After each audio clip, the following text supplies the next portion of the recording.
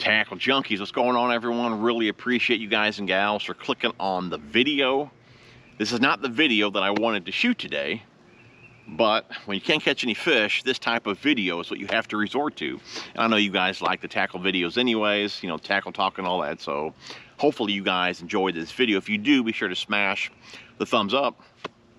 But I'm dealing with pretty much the same conditions I'm sure you're dealing with as well. and That's high muddy water. We had a few inches of rain in the last couple of days and the lakes are super high and and muddy. Actually, when I pulled up to the lake today, the uh, the docks were they were taped off with that that yellow danger tape. I wasn't even sure I could fish the lake. Had to call City Hall to get the okay just to make sure. And then next thing you know, conservation pulled up and told me everything was cool. And of course, then he wanted to check the boat to make sure everything was legal. But um, anyways, yeah. So we're on the lake here um, high, muddy, and I, did, I didn't catch any fish. You know, water temps were only uh, 49.1 was the warmest I've seen today, actually, until I pulled in this cove, which is right by right by the ramp here, and it's it's 50, so like 50.3, something like that. Anyways, um, so since I didn't catch any fish, I wanted to talk about my top. I mean, I got three combos out today that um, that I fished with. I didn't pull anything outside. I brought more, but with the conditions we had, I, I, really wanted to stick with my confidence. I didn't want to get overwhelmed with, with too many baits on the deck. So I got a couple moving baits out in a soft plastic and um, kind of went to work. But like I said, it, it, did not pan out. But I wanted to go over my, we'll, we'll say top three baits, but I'm sure I'll show you guys a few others that I have in the rod box here. Things that I would normally fish this time of year with. But like I said, with the current conditions, I just wanted to stick with those few and to see if I could get bit. And like I said, I went with my confidence and it was uh, not the right decision today. You know, normally when the water's this cold, normally I pick a, a, a bladed jig over a spinnerbait. But like I said, for whatever reason today, I just had more confidence in the spinnerbait. And um, like I said, I didn't get bit on it. But sometimes, you know, confidence plays a bigger role than actually using the right bait. Now today, it bit me in the butt. You know, I'm, well, I'm not saying I would have got bit on a chatterbait either, or a bladed jig, but like I said, um, I went with the spinner bait and it failed me. But like I said, I'm, I'm not a very good cold water fisherman. I'm very used to fishing muddy water, not so much high muddy water. But like I said, we'll go and go through the combos that I was messing around with today. Hopefully you guys enjoy the video. Uh, first up, like I said, spinnerbait. Uh, this one here, that's the Booyah Covert. I do believe that one's a 3 8 ounce. Uh, the orange kicker on there, gold, Colorado. And I was kind of cycling back and forth with that one there and their new arsonist color, which is that fire crawl color. You can just see here by the looks of this one here, you know, I just was basically just beating the rock up all day with the spinnerbaits and crankbaits. And like I said, no takers, but these are the two that I cycled through. That's the Arsonist color. Like I said, I do believe these are limited. They have the double gold, and then they have a single gold Colorado as well. 3 8 half ounce. They also have this color available in the swim jig. Like I said, I think only a few hundred available. I bought a few of them, so there's well, hopefully there's still some left for you guys. I'll drop a link down below and a discount code as well. But anyways, these are the two spinner baits that I cycled through. And like I said, no takers, but that's what we went with there. This one here is a half ounce. Look at that. Now the sun's deciding to come out today. Go figure. Anyways, anyways, as far as the combo goes, you guys have been around the channel for a while. You guys are very familiar with this rod, one of my favorite rods from Okuma. This is the TCS All-Purpose 6.9. It's a medium heavy with a mod fast action. It's a great moving bait rod. Not so much crankbaits, you know, treble hooks, but for your single hook baits like spinner baits, underspins, you know, baits like that, it's a fantastic choice. It loads at an eighth, so it's great for, you know, lighter baits as well. But fun rod for a spinner bait. We have that paired with the SLX. This is not the, the new one. This is the, the older SLX. I will pick up a new one as well and do a comparison video with the SLX. And the reason I really like the SLX on this rod is because, like I said, it, it loads a lighter lure, an eighth ounce. And this reel does really well with lighter lure. So when I'm gonna toss uh, an underspin, if I'm going to throw like an eighth or 3 16th. This is the combo that I like it on just because the rod loads a lighter lure and this reel handles lighter lures really well. And I'm running uh, 15 pound Seaguar InvizX on this combo here. Number two, we have the flat-sided crankbait. This is the Strike King Chick Magnet. This is the bigger size here. I believe it's right around a half ounce.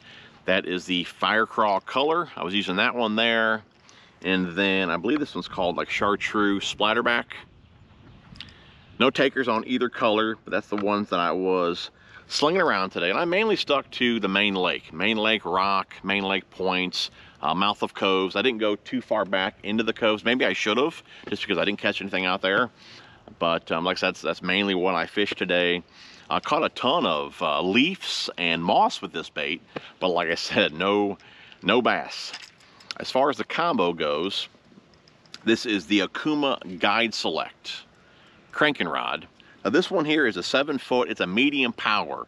And normally for my, my shallow crankbaits, I do prefer a medium heavy. I just like a bit more power when I'm shallow cranking. But this particular rod, even though it's labeled medium, to me it has more of a medium heavy feel to it.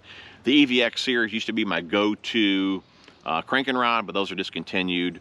And this one here is a great option. So if you guys are looking for a cranking rod, uh, definitely give this one a look. But like I said, seven foot, um, medium power mod fast action. Have that paired up with a Zillion. I do have a review on this reel. Uh, link it down below. Definitely check it out. Probably my favorite reel of 2022. I'm kind of going back and forth with this one here in the Metanium. I'm going to give the edge to the Zillion after using it uh, more last year. I guess what it was is I kind of started using the Metanium first and I just didn't put a lot of time in with the Zillion. But once I kind of dedicated it to my cranking rod and I used it a lot, it was kind of hard to deny that the Zillion is just awesome. So anyways, check out that review. And as far as the line goes, that is 15 pound a Seaguar InvizX.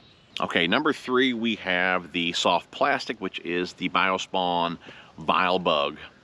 In black and blue, was using that one. I was also using a Trashmaster jig and the Vile Bug. No takers on either. You guys know the drill. You guys pick them up over there at Karl's. I'll put a little discount code on the screen for you guys. Link them down below. But like I said, I was going back and forth with the jig and the soft plastic.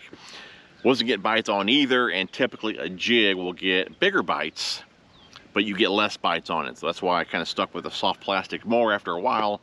But like I said, no takers on either.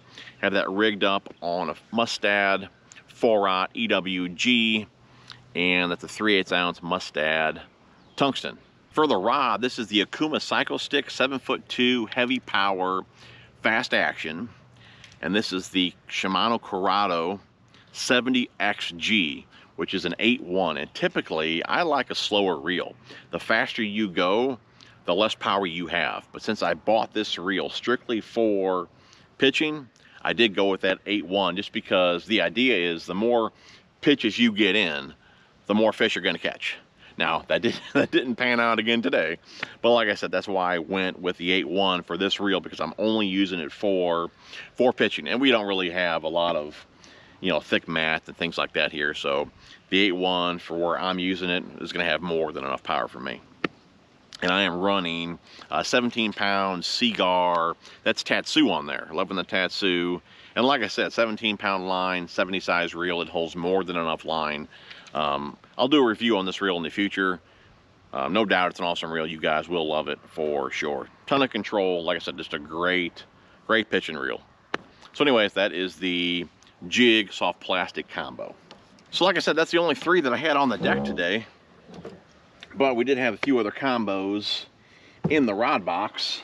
This one here is my soft plastic combo. Now I was using, like I said, the last one for plastics and jigs. I could have brought this one out as well and and put a plastic on it, but I didn't.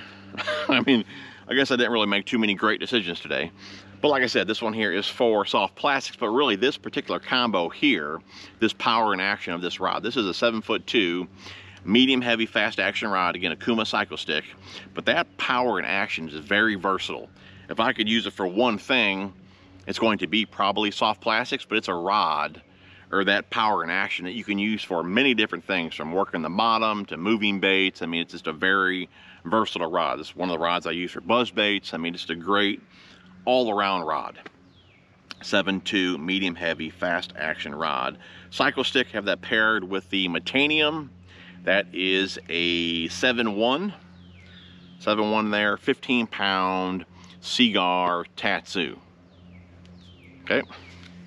So that would have been my soft plastic combo. Okay, we mentioned this one earlier. This is another one of the all-purpose TCS rods, 6.9 medium heavy mod fast. And we have the underspin on there. Like we said earlier, this is just a great uh, single hook moving bait rod. That's Picasso Lures underspin, Biospawn Lures, Exo Swim, running uh, 12 pound Seaguar InvizX. Have that on the Tatula 80 in a 6.3. Very small, compact reel. I'm sure you guys are looking forward to a review on this reel. I'll do one here in the near future but fantastic little reel. Tatula 80, again 12 pound, Seaguar InvizX, TCS 6.9, medium heavy mod fast. Fantastic combo for your lighter single hook moving baits. What else we got in there? The old bladed jig rod. This one here, this is from Mustad. This is the, um, that's the Berkley Slobber Knocker. I didn't throw that today, that's why there's no trailer on there, but that's the Slobberknocker in their, uh, their fire crawl color. But this is the Mustad. This is a 7.3, I believe it's a heavy. Does it on here? It just says moderate action, but I do believe it's a heavy. 7.3, it just says moderate action, but I do believe it's a heavy power with a moderate action, which is a, a cranking rod but I do believe um, Brandon Lester, I do believe he designed this rod for bladed jigs as well. Again, 7.3 heavy, uh, moderate action. Let's see here, uh, the line rating is 12 to 20, lure rating quarter to one ounce. And I'm running a 17 pound Seaguar InvizX on here, and that is the Tatula 100 in a 6.3. That's one of my bladed jig combos. Yeah, I didn't didn't throw it around today. Like I said, I probably should have, but for whatever reason, I just had more confidence in the spinner spinner bait today. And like I said, no no takers. But anyways, that is the bladed jig combo. And last up, we have in here is a jerk bait. And believe it or not, the jerk bait is the only bait that I've caught a bass on this year over at the ponds. So really, and we didn't talk about gear in that video because when I caught the fish, I wasn't recording. So uh, I'm not sure if I even made a video that day, did I? I think I just uh, put a picture up. Yeah, I'm not sure we even got a video that day. But like I said, uh, the that's the Stunna on there. Berkley Stunna.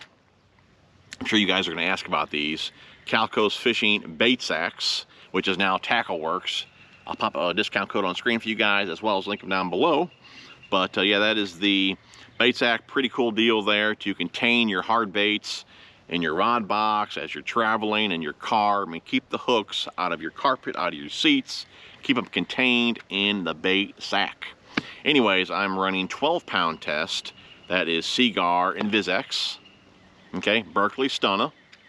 Okuma Guide Select cranking rod. But this one here is a, I believe it's a 6.9. 6.9 medium power mod fast action. I like that shorter rod anytime I'm using a downward motion. Okay, a longer rod for me, I'm not a very tall dude, I'm like 5'11". A longer rod for me, I'm gonna end up slapping the boat, slapping the water. So anytime I'm using a jerk bait or a, a top water, I like that shorter rod. The way, again, I'm not smacking the boat, smacking the water.